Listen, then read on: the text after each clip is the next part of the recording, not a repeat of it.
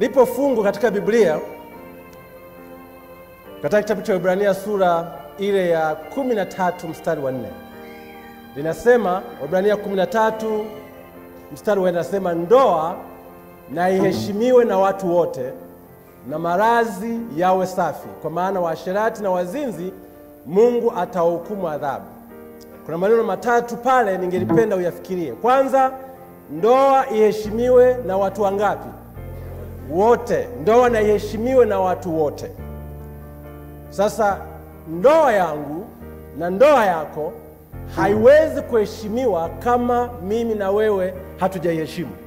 Ina maana kwamba ndoa yako lazima kwanza iheshimiwe na wewe mwenyewe kabla hujahitaji watu wengine waiheshimu, kwa sababu kama siiheshimu ndoa yangu, ina maana naruhusu watu wengine kuto kuiheshimu. Mimi ndio nayeweza kuweka mipaka na wewe ndio unaweza kuweka mipaka inayotunza heshima ya ndoa yako. Ninyi watu wawili mnafanya hivyo. Kwa hiyo kama ndoa yako haiheshimiwi na watu, basi kunakuwa na swali kwamba je, wewe mwenyewe unaiheshimu? Nadhani niwahi kuwapatia mfano wa mtu anayeishi na mwanamke, wanapigana mpaka wanakimbizana kwenye mitaa. Nakumbuka nilikuwa bado mdogo, mitaa ya Manzese uzuri hapo, watu wanakimbizana mpaka kanga zinadondoka, halafu kesho anarudi anaendelea kuishi katika nyumba yao. Sasa kila mtu mtaani wanajua mzee fulani na mke wake huwa akili mambo ya kipanda kichwani, wanakimbizana. Sasa hata watoto wakipita sema huyo huyo huyo huyo, maana walimwona jana anakimbizwa barabarani na anamkimbiza, kanga zinadondoka, matusi yale mengine ambayo hujawahi kuyasikia. Watu hawawezi kuheshimu ndoa yako kwa sababu wamegundua kwamba hata wewe mwenyewe hufanyi nini, huiheshimu. Kwa hiyo ni vizuri tuwagundua hilo. Swali la pili anasema maradhi yawe safi. Maradhi ya ndoa yawe namna gani? Safi. Sasa swala hili la maradhi ndio linalonifanya leo nizungumzie habari ya nyumbani, kuanzia mlangoni mpaka chumbani. Sasa sijui nyumba zenu, lakini nataka ukumbuke kwamba napozungumzia juu ya marazi, ukubwa wa nyumba, ukubwa wa nyumba au ubora wa nyumba, kwamba unaishi kijijini, mjini, nyumba yako ina vyumba vitano au viwili au ni kimoja, haibadilishi hii dhana ya kuwa na maradhi yaliyo safi. Usafi ni tabia. Bwana asifiwe sana. Usafi ni tabia, sio utajiri. Usafi ni tabia. Nakumbuka zamani nikisoma nilikuwa na koti moja. Bwana asifiwe sana. Kuna wakati nilikuwa na koti moja, jamani, wanasema msema kweli ni mpenzi wa Mungu, si ndio? Koti moja, lakini hilo koti ulikuwa huwezi kujua linafuliwa saa ngapi na lini, lilikuwa bado hilo koti ni safi. Jamani, ukiwa na nguo moja utatafuta namna ya kuifua tena kama ni moja itabidi utafute aina ya nguo ambayo dakika kumi na tano tu imekauka. Bwana asifiwe sana. Sio unanunua eh, eh, nguo ambayo inahitaji jua la siku tatu kukauka na ziko mbili tu. Lazima hata katika kufanya manunuzi kutumia akili kwamba nguo zangu ni chache, ikipigwa tu jua nusu saa imekauka na imepigwa pasi. Anasema huyu ana mashati ma, matano hivi meupe, huwa anavaa mashati meupe kila wakati, shati jeupe liko safi, kumbe ni moja tu, anajua namna ya kulifua. Bwana asifiwe sana. Eh, wanaume mnanielewa eh? Wanaume mnanielewa? Okay. Sasa hii inawezekana ni dini ngumu sana kwa wanawake, lakini inawezekana. Kwa hiyo usafi ni tabia, sio utajiri, na nyumba iwe kubwa au iwe ndogo, inawezekana kuwa safi. Mimi nakumbuka nimeishi kwenye chumba kimoja, nina watu wawili. Unaweza kupanga vitu vyako na nyumba bado ikawa ni safi. Kwa hiyo napenda kwanza nitangulize hilo kwamba usafi wa mazingira hautokai na ukubwa wala utajiri wa mtu alio nao. Unaweza ukawa na nafasi kubwa, unaweza ukawa na vitu vingi, unaweza ukawa na mali na bado ukawa ni mchafu, usiweze kufanya mazingira kuwa mazuri. Sasa kwa sababu tunaanzia mlangoni, Hebu piga picha kichwani mwako. Umerudi nyumbani wewe, kama ni mwanamume unarudi nyumbani, mke wako yuko nyumbani. Na wewe kama ni mwanamke, piga picha unarudi nyumbani, mme wako yuko nyumbani. Unampokeaje mke wako au unampokeaje mme wako? Kwa sababu hapo ndipo mambo yanapoanzia. Bwana asifiwe sana. Umetoka huko umevurugwa, unajua kuvurugwa eh? Umetoka huko umevurugwa, umetoka kazini, umechoka, ulikuwa na siku ndefu, kichwa kinakuuma, hukupata na, nafasi ya kula, au wakati mwingine umefanya biashara siku hiyo haikwenda vizuri na umepata hasara. Sasa unarudi nyumbani, huko ulikotoka, umetoka umekata tamaa. Unaporudi nyumbani, unaingia mlangoni, unapokelewaje? Hiyo inaweza ikaleta tofauti kubwa sana. Kwa hiyo swala la kwanza, unapoingia nyumbani kwa kwako, huyu aliyeko ndani sasa, sijui ni nani, wewe ni mwanamume, ni mwanamke. Na hili kwa wanaume wenzangu, sisi tumezoea kupokelewa, lakini somo langu la leo, kila mtu ana haki ya kupokelewa. Bwana asifiwe sana. Kama mimi ndio niko nyumbani, basi na- nahitaji kumpokea mke wangu. Kama uko nyumbani, unahitaji kumpokea mke wako. Sasa umewahi kupokelewa? eh, Hebu fikiria, umewahi kupokelewa kwa kukumbatiwa na kupewa busu na mke wako, mume wako? Kama umewahi, sijali ilikuwa mwaka jana, miaka mitano iliyopita au kumi na saba iliyopita, hebu fikiria ulivyo- ulivyojisikia siku hiyo. Najua wote mmewahi, hata kama ndoa sasa hivi ina kutu, wale mliooa na kuolewa, umewahi. Kuna wakati umewahi kupokelewa vizuri. Uongo kweli? Inawezekana ni mwaka juzi, wengine mlio na bahati, inawezekana ni jana. Bwana asifiwe sana. Na wengine inawezekana ni miaka mitano iliyopita, ulipokelewa kwa kukumbatiwa, karibu mume wangu, au eh, hani ulikuwa eh, nimefurahi kweli umekuja, yani hapo roho ilikuwa inanidunda namna hiyo. Sasa nashukuru umekuja, ulipokelewa vizuri. Ulijisikiaje siku hiyo? Hata kama umekuja na mapresha yako na stress zako, italeta ma, mabadiliko sana katika maisha yako. Kwanza unajiuliza, mbona anipokea hivyo? Kuna nini leo? Si jamani, umekuja mpenzi wangu nyumbani, umefika nyumbani. Sasa jamani, sikupokee kwa namna gani? Mi nimekaa hapa na kungoja siku nzima.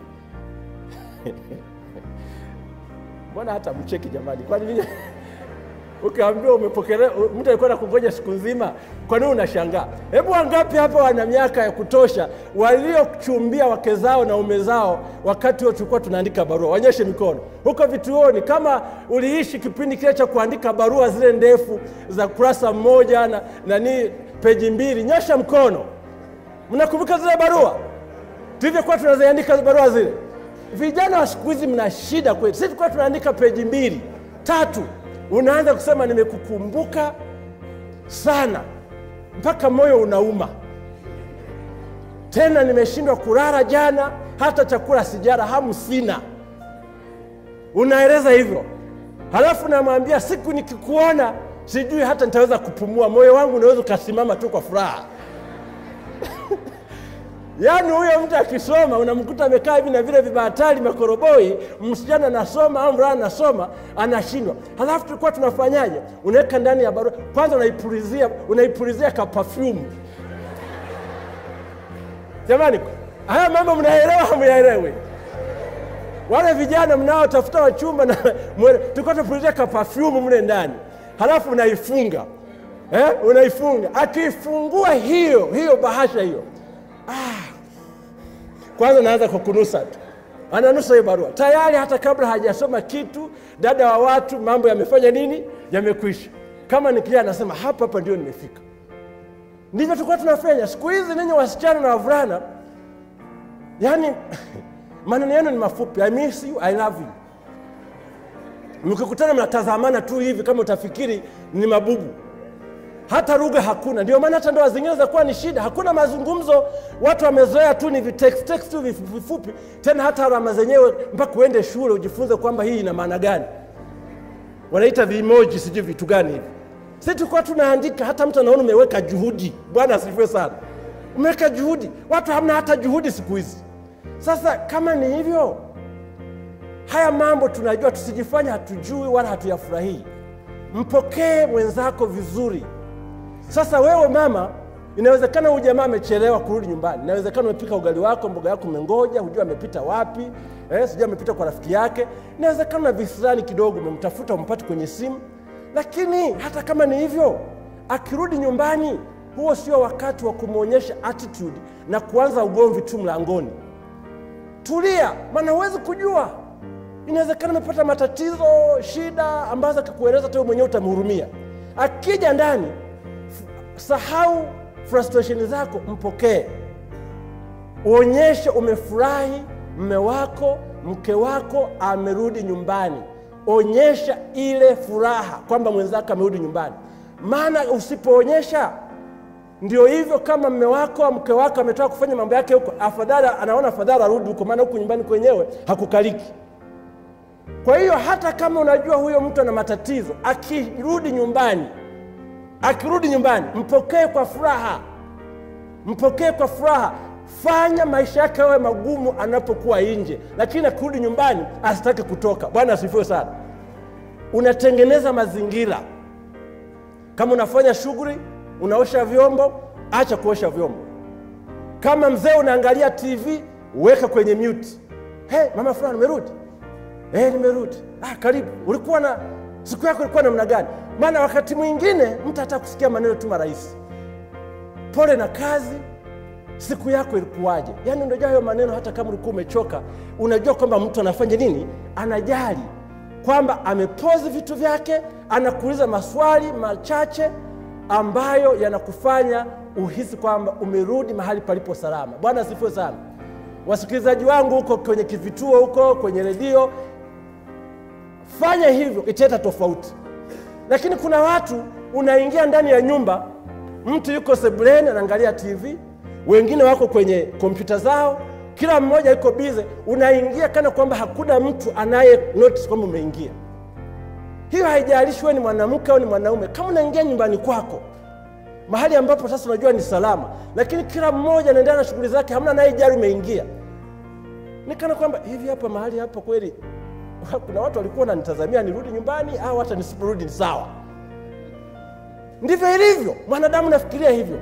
Watu wako excited, mimi nirudi nyumbani au nisirudi tu. Nilichelewa, hamna naye shangaa kwa nini nimechelewa. Huko ni salama huko?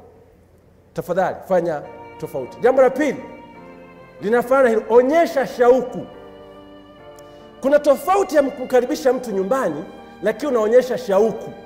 Umesimamishwa, hata kuongea eh? Unataka kuuliza kidogo, pole na kazi, siku yako ilikuwa namna gani? Na mtu anapoanza kueleza, basi onyesha shauku ya kutaka kujua. Dakika tano tu zinatosha, wala sio nyingi. Simamisha mambo yako, uliza vizuri. Ehe, ah bwana, leo trafiki ilikuwa mbaya. Ehe, hata mimi nilikuwa na trafiki huko. Trafiki yenu leo ilikuwa wapi? Ah, pale mahali fulani. Eh, pole. Sasa shughuli yako ulikula leo? Naona kama umechokachoka mzee. Ulikula? Kuna chakula tayari mezani, unataka kula au unataka kuoga? Mnakumbuka ile swali zuri lile? Wanaume wakiulizwa wanasikia kuchanganyikiwa kidogo, inabidi kwanza wapozi hivi, nataka kula au kuoga?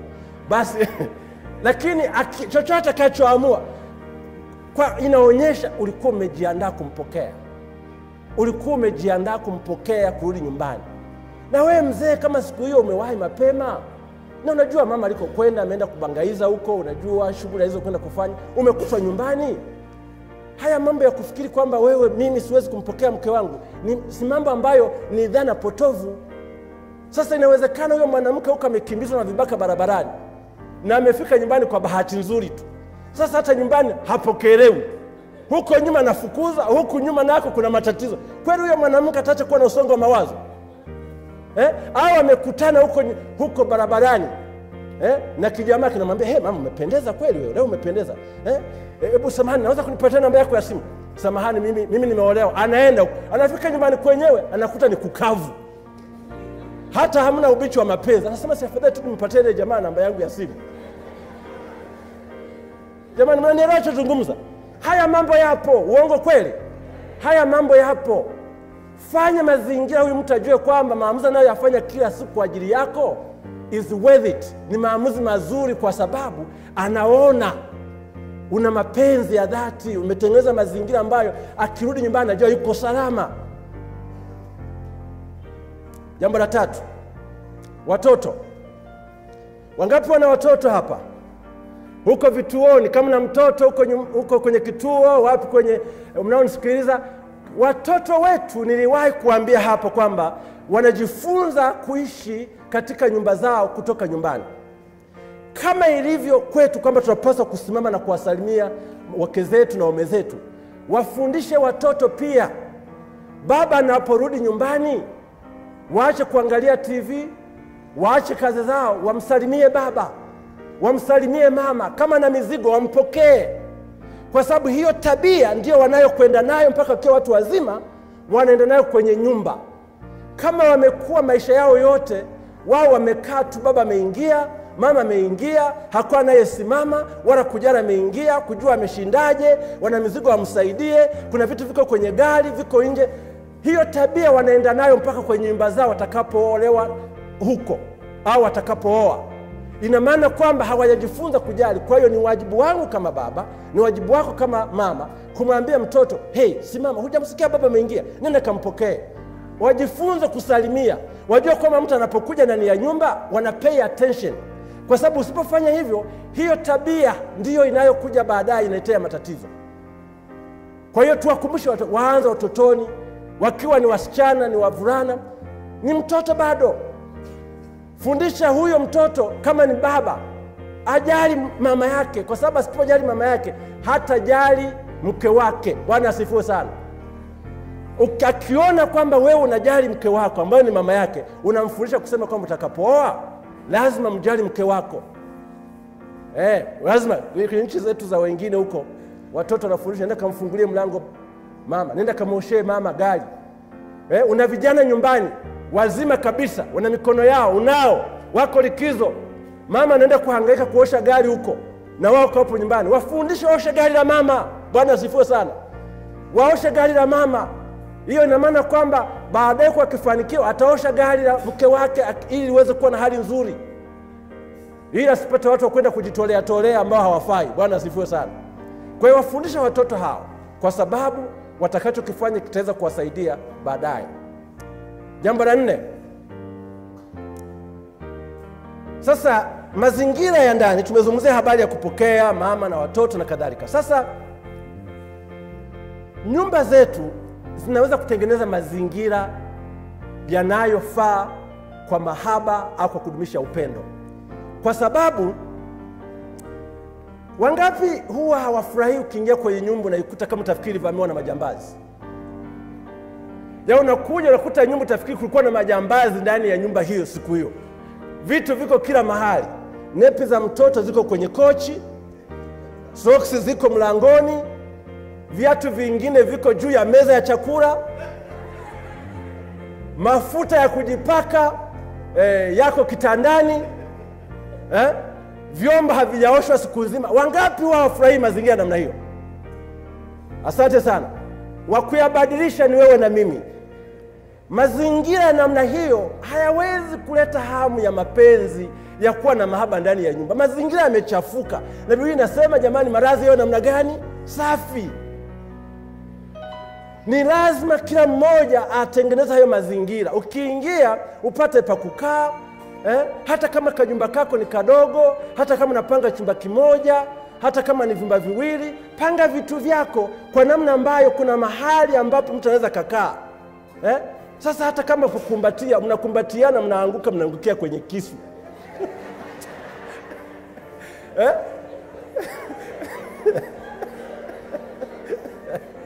Jamani, si mnaona hiyo ni hatari hata wenyewe eh? Au mna mnajaribu kutembea hapo, mara mmekanyaga nepi za mtoto ambazo ni chafu. Hiyo vitu jamani, haviwezi inaondoa inaondoa yale mazingira ambayo tunasema utengeneze mazingira ya upendo. Kwa hiyo tusaidiane katika nyumba, tutengeneze mazingira, na hayo hahitaji utajiri, inamaanishi uwe na vitu vingi katika nyumba. Ni tabia kwamba uweke vitu vyako, uwe na mahali pa kuweka tunguo tuchafu hapo eh, unaweza ukamudu ka kikapu, uwe na kakikapu kakuweka nguo chafu ili kabla hazijafuliwa zisiwe kila mahali nguo chafu na nguo nzuri zimechanganyika. Weka kikapu ka nguo chafu, mkumbushane mzee, eh, soksi zako weka kwenye kikapu hapo, nitazifua baadaye. Hiyo ni lugha nzuri, ni maana yake nikusema usizitupe mahali popote. Bwana asifue sana. Na ka kikapu hapa, weka soksi zako hapa, nitazifua baadaye. Hujamwambia mzee, unajua wewe unavua tu viatu hapo, unaweka soksi kila mahali. Ah, hujamwambia hivyo, unataka kuzifua, kwa hiyo umeziweka ka kikapu. Basi na wewe mama pia fanya hivyo hivyo, tengeneza mazingira hayo, kwa sababu itakufaa. Niseme kidogo kuhusu chumbani. Mimi ni mwamini mzuri sana kwamba chumba chetu, chumba cha mume na mke, kinapaswa kuwa chumba kizuri kuliko vyumba vingine vyote. Jamani, umenisikia sawa sawa? Sio chumba cha wageni wala sio chumba cha mchungaji. Chumba chako cha kulala kiwe kizuri kuliko chumba kingine chochote. Sasa kuna wengine tuna tabia tunageuza vyumba vyetu vya kulala kama ni store. Chumba kimejaa makorokoro na majitu ambayo hatutaki watu waone, vyote vinaenda wapi? Chumbani. Hiyo tabia inaharibu mazingira. Bwana asifiwe sana. Eh, unaenda huku, kuna vitu vya zamani ambavyo havitumiki, vyote hivyo viko chumbani. Hivyo vitu vinaharibu mazingira. Chumba cha kulala kiwe zina nafasi. Kama unajenga, hakikisha kwamba chumba chako kina nafasi, kina mahali pa kuweka nguo, na hakuna vitu viko kila mahali. Kama ni chumba cha kupanga, pia hakikisha kwamba hicho chumba chako kuna vitu umevipanga, umetafuta kakitambaa, vingine umevifunika, unaona kitanda tu na mara nguo zenu. Hata ukitembea hapo kuna nafasi, maana mambo ya chumbani ni mengi. Bwana asifiwe sana. Mambo ya chumbani ni mengi. Wakati mwingine watu wao wanapigana huko, mapigano mazuri sana, lazima kuwa na nafasi jamani, mnanielewa eh? Mnanielewa eh? Chumba chako kiwe kisafi, pawe mahali pazuri.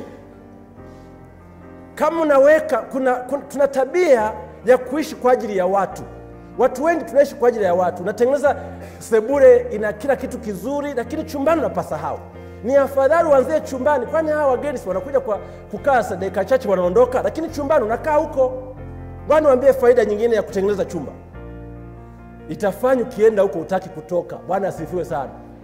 Kama sebuleni ni kuzuri zaidi kuliko chumbani, mtu akikaa sebuleni hataki kutoka. Wewe unaenda kulala unamngoja, yeye anaona huku sebuleni kuzuri kunafaa, hakuna bugudha, chumbani hakufai.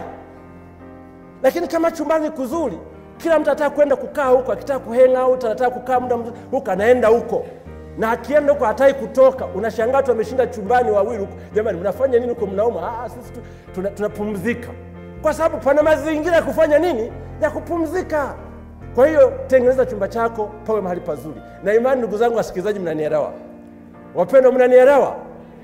Sasa kama mazingira sio mazuri, nenda kabadilishe makorokoro yale, mamizigo yale mengine ambayo ni ya ulihatangu umehama mwaka jana, sijui mwaka juzi, eh, vitu ambavyo huvitumii vingine hata jui vina thamani gani, kaviondoe. Using'ang'anie vitu. Wengeza sema usiwe hoda. Watu wanaang'ania vitu ambavyo matumizi yake hata wala hayapo.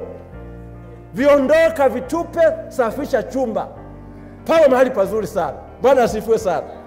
Jamani, niwaambie, nitaingia vyumbani kwenu leo, mtaniwia radhi. Jambo la tano, jifunze kumwelewa mwenzako. Eh, lugha ya mnasema umsome, umwelewe mwenzako. Na wanaume wenzangu, nina maneno kwenu. Tunashindwa mtihani, nimejaribu mara nyingi, tunashindwa mitihani mingi sana inapokuhusu wake zetu. Unauliza mwanaume, hivi mke wako anapenda chakula gani? anakuambia chakula fulani, kumbe hicho chakula ni chakula ambacho wewe unakipenda. Mke wako anakipika kila siku kwa sababu yako, wewe unafikiri ndio chakula anachokipenda. Mnanielewa sawa sawa?